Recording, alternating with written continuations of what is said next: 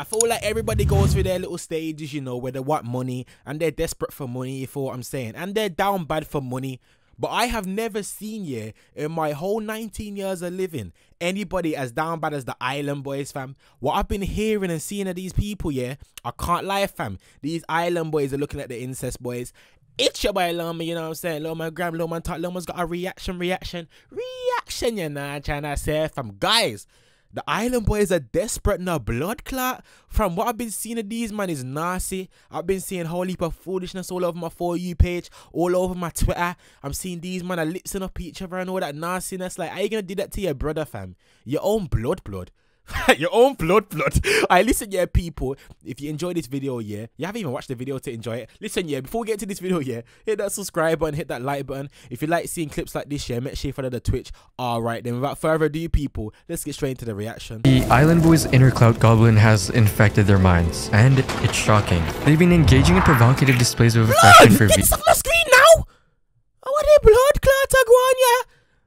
Don't ever show me that shit, blood. Why for that? Where did for that even come from, blood? That ain't no that ain't no Jamaican something, car blood. I never heard that growing up. You know why for that? You know that word why for that? I never heard that growing up, fam. You get me? I never heard my peoples or my family members say why for that. That must be some new something. You get me? But yeah, blood. I want a blood clot to go on, yeah. Don't ever show me that chichi shit, blood. And listen, yeah, we don't discriminate around there, but that's nasty, blood. I don't want to see two brother kiss up and kiss up.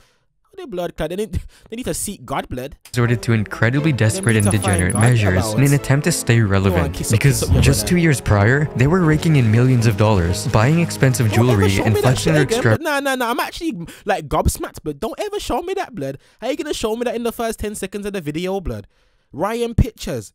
You need to get that picture out of my head, fam, about. You can't show me that in the first 10 seconds. I want a blood clot. and lifestyles. However, they're now submerged in hundreds of thousands of dollars in debt with no views and no future. On the surface, the Island Boys are all glitz and glamour, often seen in luxury cars and flaunting a good life on social media. But if we take a closer look, a completely different picture emerges. According to their manager, the Island Boys were not as rich as they acted. In fact, Well, they were broke. Because in reality, Well, obviously, but come on now. Like, it's not rocket science to know that.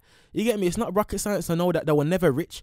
Like, ah, this is the thing. Because I'm an well, I said influencer. That sounds so cringe. I called myself an influencer. But because I'm a content creator and I've been doing this for a couple years now, like, I know how this thing works, fam. Like, I'm not even trying to be a pocket watcher, but I know who's really making bread and who ain't making bread, fam. Trust me, fam. If someone, here is only getting views off TikTok, they haven't got a YouTube channel, they haven't got, like, nothing else, just TikTok. Nine times out of ten, fam, they're broke pocket or they're not as rich as you think, blood. You get me? Or they probably just got a little bit of dough in their pocket, bro. They're not rich or nothing like that, though. Like these niggas never had no YouTube channel. You get me? These man were collecting views for free on TikTok, blood. You get me? Views for free, bro. You know what I'm trying to say, bro? So it's like, fam, they never had no substance or nothing. They never had no fan base, and their music weren't paying them. You know what I'm trying to say? Like to get paid off music here, you have to be a big artist, you know. You know what I'm trying to say? You can't be no Highland boy. Most of these outward displays of wealth are simply a facade. Many of the cars they pose in are rented, the expensive looking items merely leased, and the penthouses or villas are not owned, but borrowed or rented for video shoots. They didn't have the money. In fact, they owed a lot of it, and it was costing them. right now th- there's no more money coming in like, Right. i know for sure and like people think they got millions of dollars they don't Following those revelations, the hype eventually started to fade. They found unconventional and often shocking ways to keep the spotlight on them. One of their most controversial stunts recently involved them kissing each other on camera. Me no want to see this man. Well, not Don't, necess- bro, why are you playing the full jam clip? Me no want to see them kiss, no boy. Me no want to see two brother kiss, blood. I don't want to see that shit, blood. Don't show me two brothers kissing, blood. I don't want to see that, fam. All right then. Two actual brothers, you know, blood brothers. I don't want to see them kiss, blood. About are you just playing the clip, clip so freely like that? You get me? Why have you even got them, bro? Deep. The person who made this video had to edit it, so he's got them files on his on his hard drive. You got them files on your hard drive, blood. No, sir. Man said you got Phineas and Ferb lips in each other. I and Ferb with tattoos that actually look like that. No, I can't even lie. necessarily the kind they might have wanted. The brothers defended their act as a non-sexual expression. Still, many couldn't overlook the eyebrow-raising front of two twins kissing so passionately. Another avenue they explored to maintain relevance was by creating an OnlyFans account, a platform known for its explicit content. This is the Promoting it by using video- controversial means me helped them boost their subscriber count, but at the cost of triggering adverse reactions. Their manager even alluded to the possibility of them being gay, further adding to the intrigue. Island Boys got kidnapped. You told me they was Yeah, doing right. some sus shit in the room that one day. Niggas was touching each other's penises Yeah, or I don't whatever. even want to. Wait, what? But again, this approach generated more controversy than approval, leading to questions about their desperation to stay relevant. However, making out with each other was not the only degenerate act they committed, as it was revealed that they had a history involving the law. It was news no one expected to hear. I'm just gonna start Frankie, also known as Kodiak Red, had been arrested for domestic violence. Yeah, I know, but I didn't do nothing, bro. Listen, these are the allegations she made against me. Bro, what allegation? Bro, I put this on God. I put this on God, bro. According to Frankie's girlfriend, they argued at the pool of their Airbnb after she threatened to break up with him due to his physically abusive behavior. Frankie allegedly struck her across the face and shoved her into the shallow part of the pool, subsequently resulting in her hitting her chin on the concrete floor below. Police noticed the body markings matching her description and took Frankie into custody before releasing him 24 hours later. He took to Instagram to announce his release with a caption to defend himself. Free now. Missed everybody. Is not what it seems, y'all. Love and peace and prosperity. That what life is about. 24 hour lockdown and fighting demons. Nobody cared, now they do. This incident with the No, law coupled the Island Boys fans? Like deadass. down and I fighting ain't trying to hate, demons. bro. Nobody cared, fans, now they do. This incident with the law, coupled with their controversial online behavior, has led many to view the Island Boys negatively. You know it what? tarnished their image I'm not even gonna look away no more. I'm just gonna watch blood because fam, at this rate, fam, he keeps he keeps catching me off guard, fam. I might as well watch it, you know, like that. Nah, that sounds crazy. Made their climb back to relevancy even more challenging, making their claim of living the good life harder to swallow. Because how could they claim to be so successful and fulfilled when engaging in behavior that leads to legal consequences? The Island Boys were also involved in multiple public scandals and gossip regarding their behavior. Notably, they were observed at a Jake Paul boxing match against Tyron Woodley, throwing their shoes and spitting at spectators. These disgraceful behaviors provoked such an adverse reaction Uh, fam, to spit at someone, you have to be. Oh, you have to, bro. Listen, you actually have to be a tramp for that. You know, I'll be real, bro. Listen, I'll be so real, fam. To spit at someone, that's wild, fam. To spit at someone, wild. throwing their shoes and That's spitting at nasty, you know. spectators. These disgraceful Spit behaviors provoked such an adverse reaction that they were booed and had objects thrown at their head, prompting security to escort them out of the arena.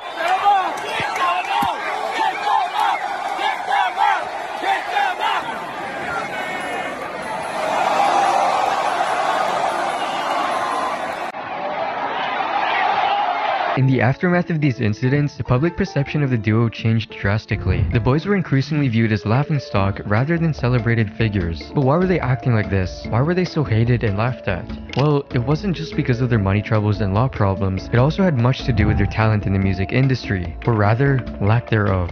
Because to many, their instant fame seems somewhat unjustified, going viral overnight not for any particular talent or creative output, but for a freestyle that many found cringeworthy. The perception of them as talentless idiots, exploiting social media algorithms for their own gain, didn't sit well with the masses. Sustaining their fame and relevancy hinged on building a loyal fan base, an uphill task without any quality music. It's one thing for people to view their content for amusement, but quite another for them to become true fans of their music. Most accomplished musicians are recognized for their talent, dedication, and constant strive for improvement. However, the Island Boys seem disinterested in honing their craft. Their music seems simplistic, repetitive, and needed more meaningful content. Bro, their music's dry, blood. Get me? No one, nobody in the whole earth, yeah, listens to Island Boys and has never have blood like religiously.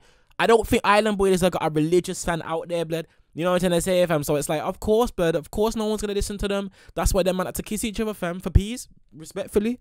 My island boy, I've been trying to make it. Their perception grew that they were more engrossed in flamboyant displays rather than in producing quality music. As a result, their lack of musical talent started to become glaringly obvious. They were unable to retain their fanbase or attract new followers. As their fame began to wane, their efforts to stay relevant increasingly seemed like desperate grasps at straws. Despite their shortcomings and a trail of controversies, the Island Boys held on to their dream of making a fortune from their music, merchandise sales, and brand partnerships. Who the hell was buying Island Boy merch?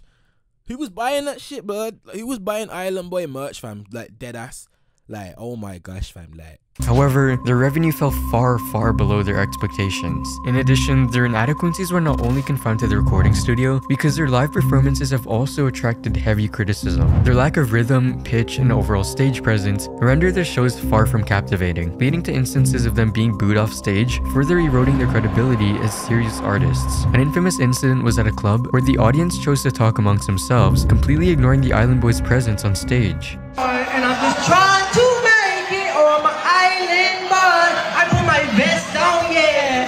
Come on.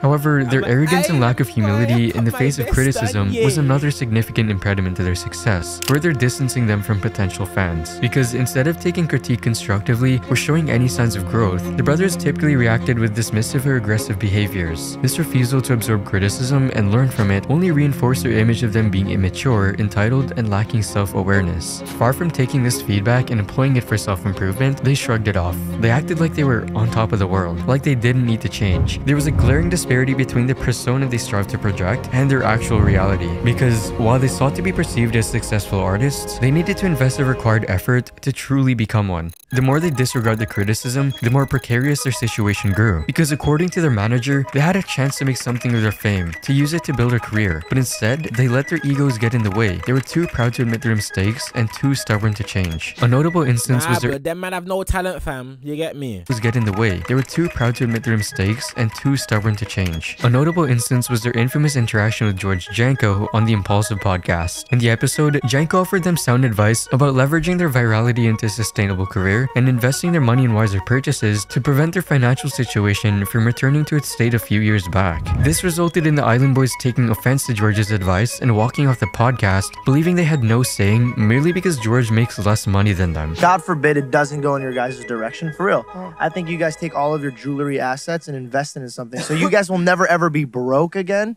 George, stop talking. We have multiple. Wait, that was oh. hey, that was got- that was Nah, for you doing it. guys. Yeah, you. you That wasn't like a hate don't, shot. I don't need I don't Yeah. need financial Yeah, advice when I probably make more money than you. you. for a Hey, second. George. Just- I, hold on. No, no, hold on, hold on, hold on. No, no, hold on. podcast. No, Here, I'm moving for you.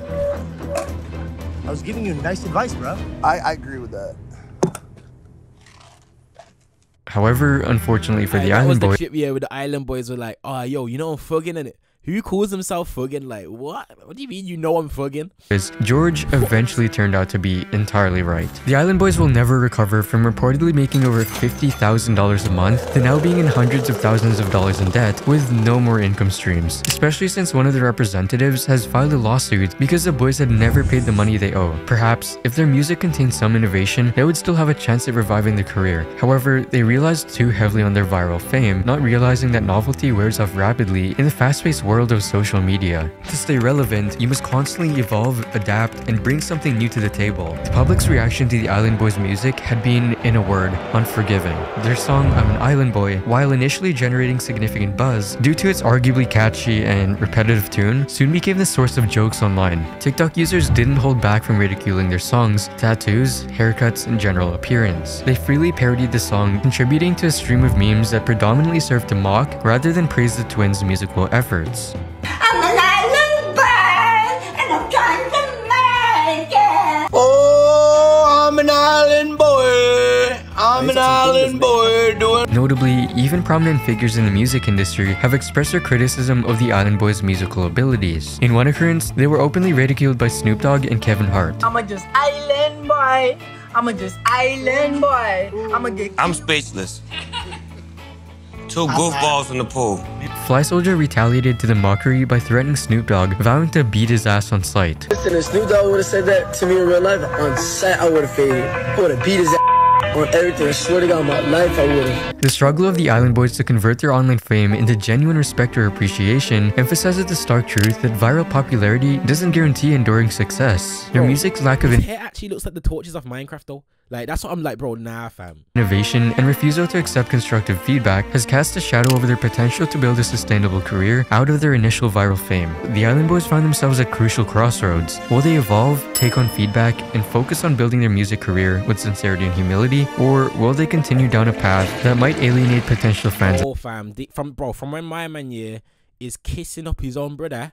Yeah, like I'll be real, it's over for them, man. But anyway, though, people, let me know what you like think about the Island Boys. Let me know if you think them man are tripping, you get me. Them man are tripping, boys, you get me. Ah, Alright, then. But anyway, though, people, hit the subscribe button, hit the like button. Without further ado, it's your boy, love me, boy, love line, you get me, you get me.